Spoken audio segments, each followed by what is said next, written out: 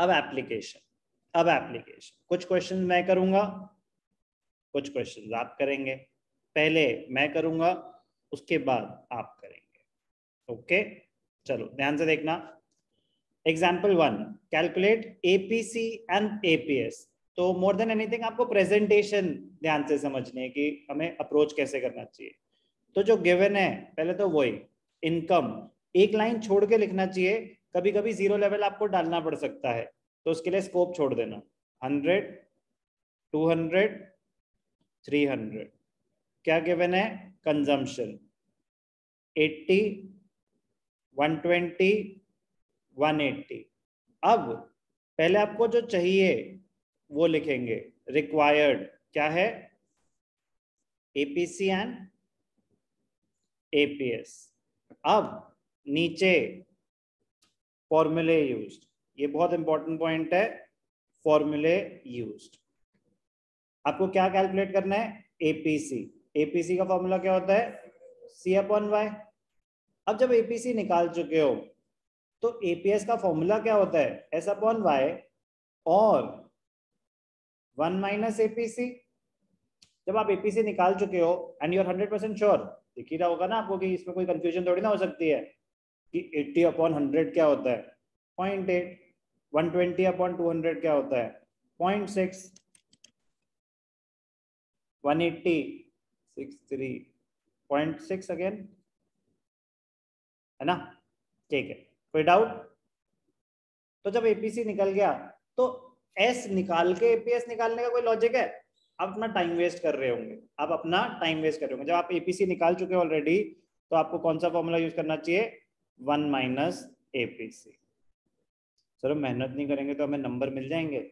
ऐसी बेवकूफ़ वाली बातें कर रहे हैं तो ये प्लीज़ एक तरीका था कि हमें पहले सेविंग निकालता, फिर ऐसा पॉन वाई करता। ज़रूरत नहीं है। ज़रूरत क्यों नहीं है?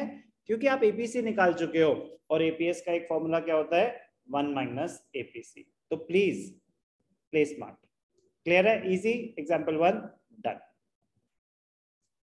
एक और एग्ज़ाम्पल करता हूँ। चलो, साथ ही। छोटे छोटे एग्ज़ाम्पल थ्री ध्यान से देखना, मज़ा आएगा। The disposable income is 1200 crore and consumption expenditure is 800 crore तो डिफरेंट डिफरेंट पार्ट्स हैं। इंटररिलेटेड नहीं है, एक एक करके बात करते हैं। क्या गिवन है?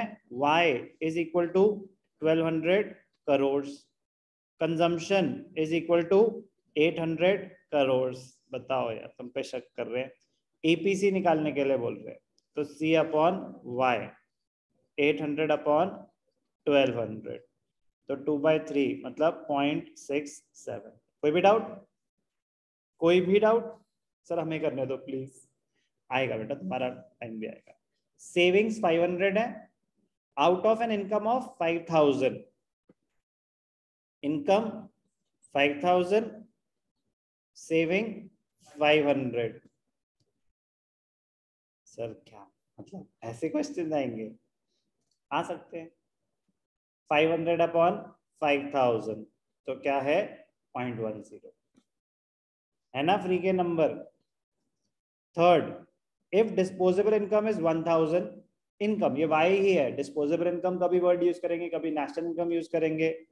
कंजम्पशन है seven fifty find out APS तो पहले एस निकाल दो, फिर एपीएस निकाल दो।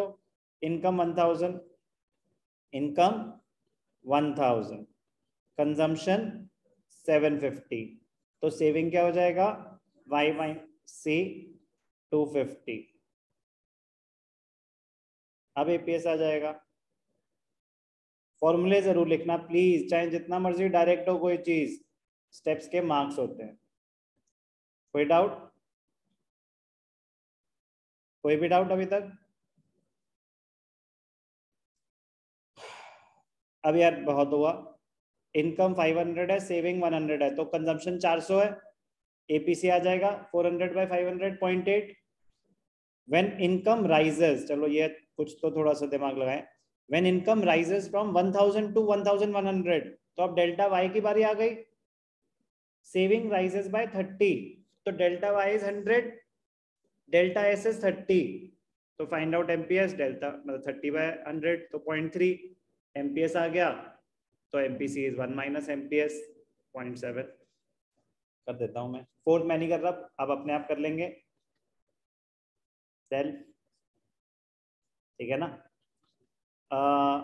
फाइव uh, में क्या गिवन था? इनकम राइजेस तो y is one thousand Y one is eleven hundred. तो डेल्टा y क्या हो जाएगा? One hundred. और हमें क्या गिवन है? Savings rises by thirty. तो डेल्टा एस दे रखा है। तो एमपीएस क्या हो जाएगा? पहले formula, delta S upon delta Y.